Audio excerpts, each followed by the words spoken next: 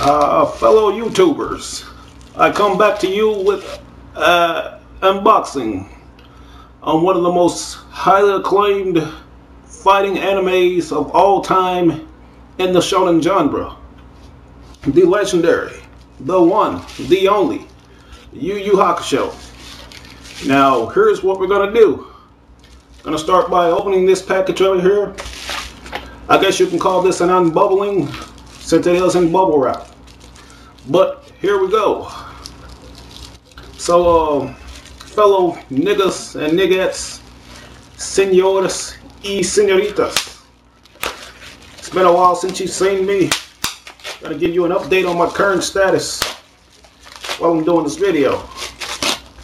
But now, uh, it's your boy S Review coming back with another video on this special unboxing on uh, the Yu Yu Hakusho bundle or the Yu Yu Hakusho movie.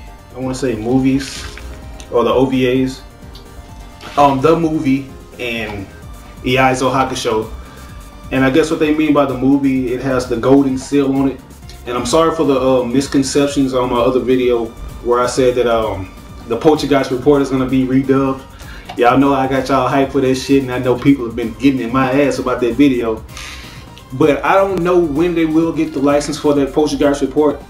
Uh, from what I've heard, U.S. manga is still like it still has the rights to that uh, that DVD. So ain't no telling. But when they do, I hope they do get it on Blu-ray and get like a digital remaster and a good transfer for that Blu-ray. But uh, it's gonna give you guys a discussion on what I'm expecting up in this right here. Uh, didn't really get a chance to see the the original ones and I'm glad I didn't because what I've heard, I heard the dubs were just horrible.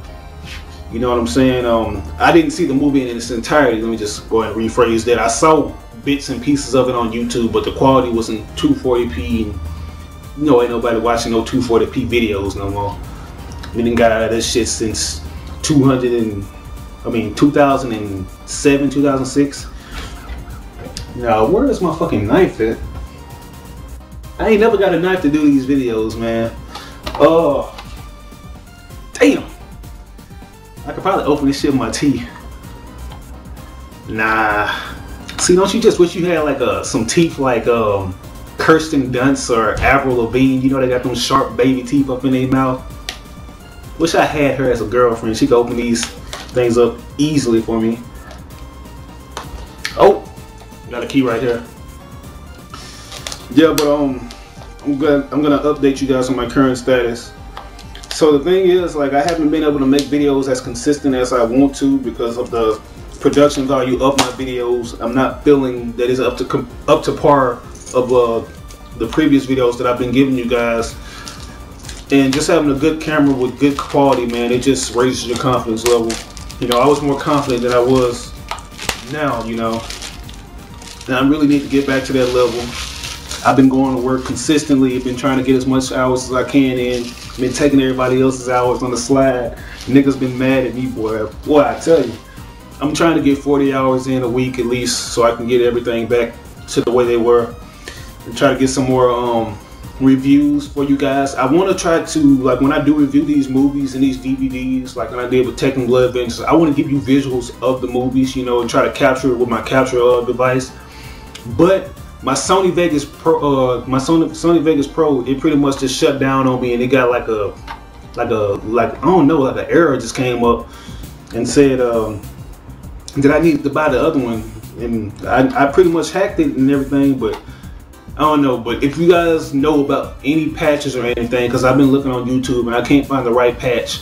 I found one, but it worked for a second, but it just stopped working. So if you guys know of any patches I can use to get a, a legit version of Sony Vegas Pro, let me know. But see, you got that right there. Let you get a good look at the case right there. I remember last time I messed it up. You know, I didn't give you guys a good view of the case. Give you the back right there. Boom. Boom. We'll just say uh, death is only the beginning.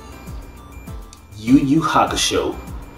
So um, what I'm looking forward to in this DVD, I am looking forward to hearing all the original voices, Justin Cook, my man Chris Sabat, the man that's in all the Funimation um, licensed animes. Chuck Huber better be back playing Hiei. And I'm also looking forward to John Bergermeyer Uh, did I say that right? Is it John Bergemeyer that plays? Um, yes, John Ber- Bergemeyer that plays what's the name? Um, damn, I can't even think of that name right now. Kurama, Kurama. My bad, my bad. Looking forward to that. This quality is gonna be amazing too. Oh yeah.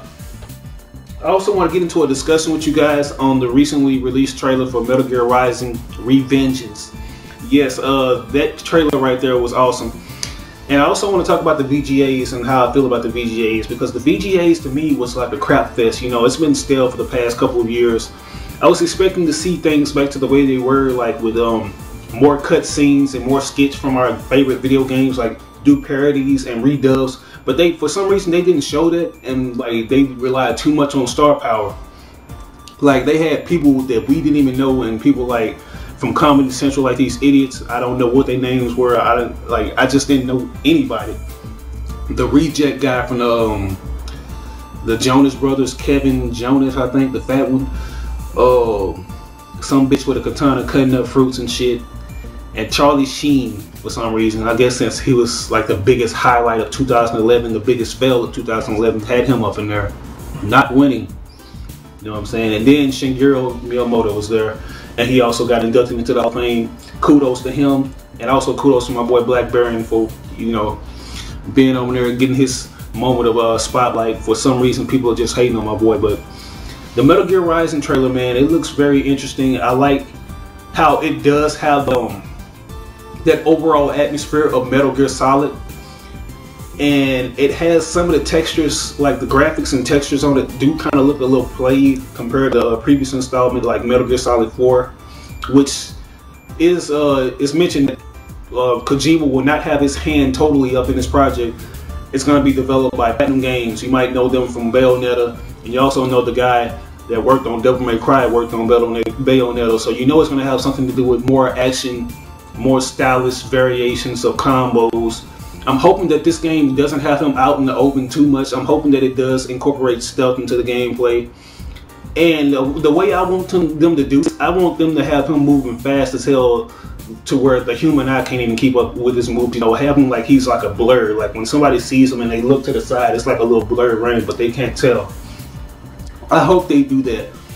And I'm also eager to see where the story's gonna follow. We don't know if it picks up after Metal Gear Solid 4 or if it's gonna be, be a prequel in my opinion, I think it's to be a prequel because the way of his uh, appearance riding the main protagonist, the the suit looks different from what we did see up in Metal Gear Solid 4 when he made his uh, cyborg appearance.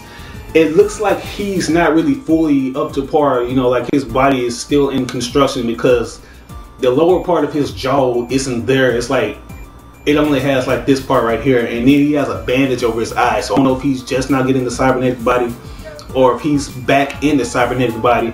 Because to spoil stuff for you, he does have um, uh, what's the name? You know, he does have um, a son or whatever, and he does get his original body back. Yeah, so who knows? Maybe um, that's just my prediction. The gameplay, I just want to be more stealthier with more action.